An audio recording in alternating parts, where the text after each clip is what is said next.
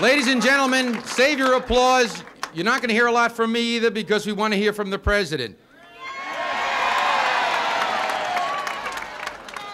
What a delight for all of us, Mr. President and Mrs. Reagan, to have finished our convention on this kind of a note, a successful convention. We've got some great candidates running, and Paul Curran and, and uh, Lew Lehrman and Jim Emery, Ned Regan, Whitney North Seymour, Mickey Siebert, Florence Sullivan, and Fran Sclafani.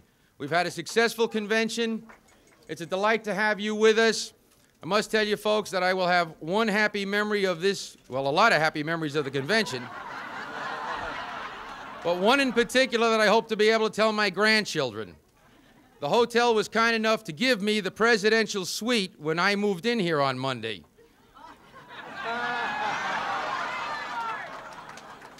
I was asked to give it up. and it was a delight. Ladies and gentlemen, the President of the United States. Thank you. Thank you very much. Thank you. Thank you very much. Please.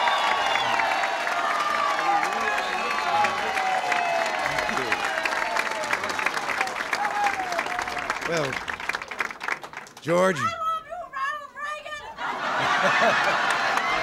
Thank you very much. Thank you. Well, I want to tell you, if I could just say one thing, I know I have to be very careful because you have primaries to go and so forth, and so I've got to stay neutral until the candidates are selected, except for one. Except for one, the first Republican woman candidate here in the history of our party.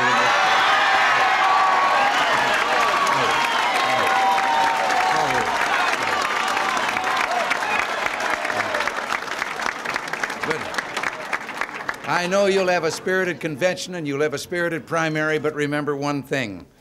Even it came from the West, I know, but I'm still singing it. The greatest thing that's happened for the Republican Party is when the chips are down and the decisions are made as to who the candidates will be, then the 11th commandment prevails and everybody goes to work, and that is, Thou shalt not speak ill of another Republican.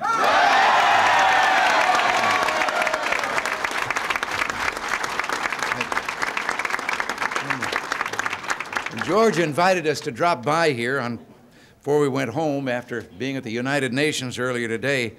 I'm always delighted to speak to Republican delegates. I sort of developed a taste for that in the summer of 1980. Uh, but, but I'll tell you what I like about my fellow Republicans their optimism and their dedication. And George is that kind of a Republican. Because I remember back there when everyone told us to write off New York in 1980 and not to waste our time or effort here because there was no chance. And it was George Clark who said, Not on your life, nothing doing, and he was right, and you know what happened.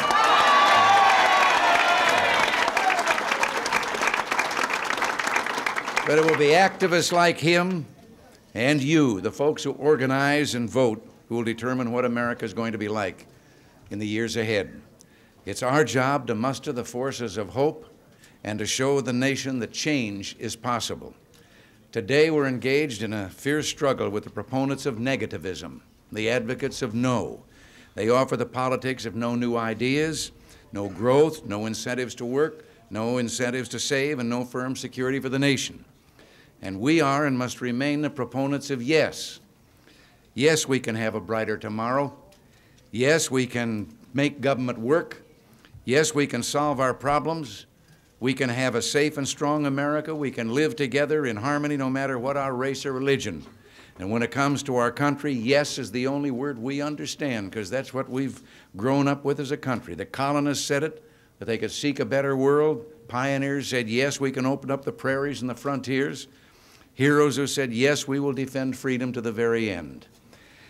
1982, we Republicans know what we stand for. Unlike many of our opponents, after being in Washington for a year and a half, there's one thing I know for sure. There are two sides to every question. and come election year, the Democrats turn up on both sides.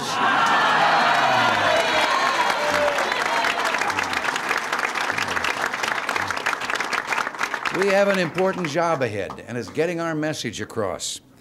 Won't be easy. It's a tremendous job to do.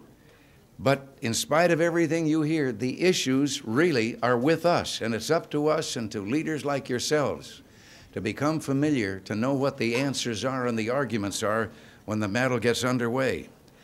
The issues are with us because we're trying to solve the problems that are facing this nation.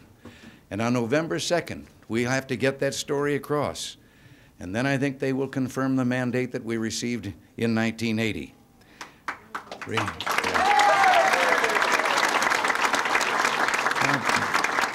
But let me, let me just say a word about those issues and the comparison with where our opponents stand. The liberal leadership of the other party is going to have to explain why they, for two years in a row, fought right down to the wire and have in the last few weeks against reducing spending as if that were some kind of a sin against the body politic. It's the liberal leadership of that same party who, first of all, didn't want to give you the tax cuts that are scheduled for the next two years, but now want to take them away from you on the grounds that somehow they're responsible for the recession. Well, the truth is, we had the recession before we had the program.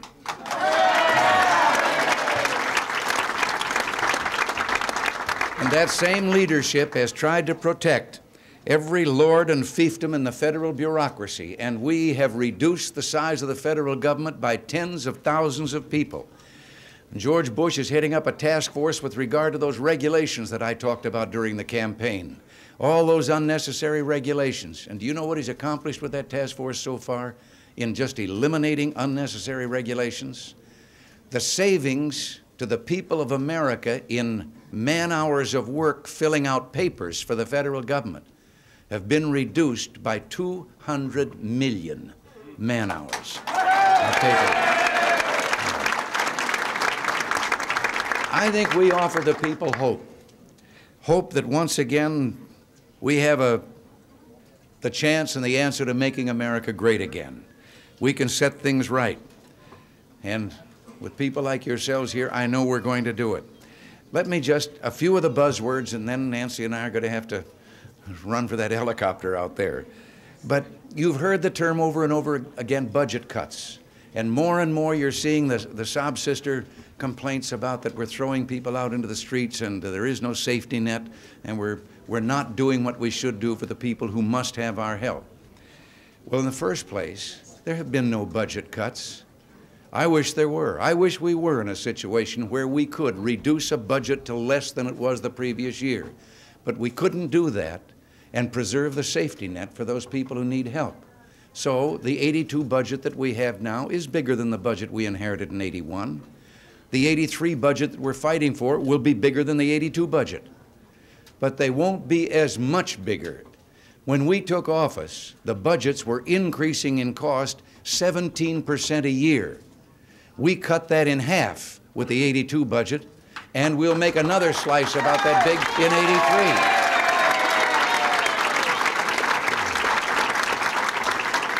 But let me just give you some things you might use in an argument about whether we are mistreating the people who need help. Oh, I know of uh, 8,000 individuals whose Social Security checks have been eliminated. 8,000 of them. We found out they'd been dead for an average of seven years. But they were still getting their checks. But government medical programs over the 70s, from 1970 to 1980, increased an average of 16.9% a year in cost. Well, next year, in the budget that we're fighting for, it won't be that much, but it'll be almost 15%. Does that sound as if we're denying medical care to those people who need it? The budget, well, let me go back just 20 years to 1962 to Camelot. John F. Kennedy, 29% of his budget was for human needs. And in our budget, 51% is for human needs. They tell us that we're wasting money on defense, that we shouldn't be spending all that money on defense.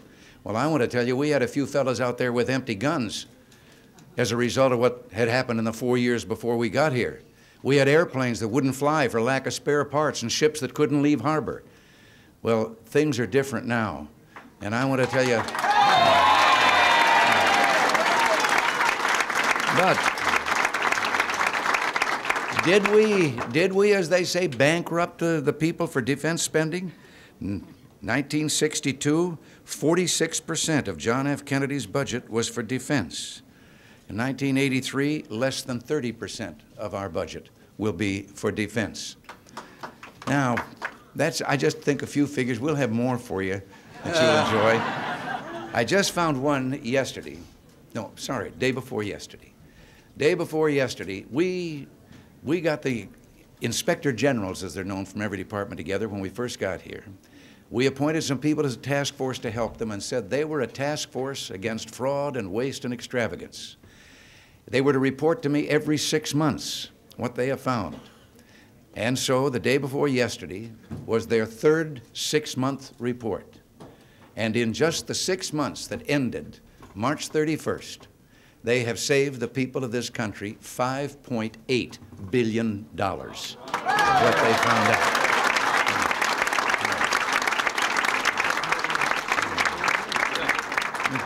One little item that just might interest you to show you what you can find if you look for it. They found out where we were paying $318 a piece for brackets in one department. And they found out they were available in the local store for $4 each. well, that's, that's enough of that. It's great to see you here, and you carry on and uh, don't, don't get discouraged. I think that we're on the way. I got the, got the news this morning. In the month of May, housing starts in the building industry went up 22% over the previous month. All right. God bless you all. And George, thank you for letting me be here. All right.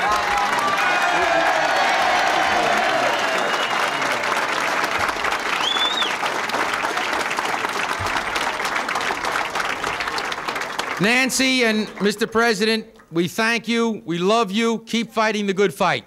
Well, thank you. I wish we could, but we can't.